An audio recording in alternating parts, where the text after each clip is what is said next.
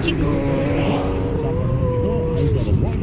Mas mabuting isusunod ng Pangulo ang pag-asam nito ng manatili sa pasto ng lagpas at 2016.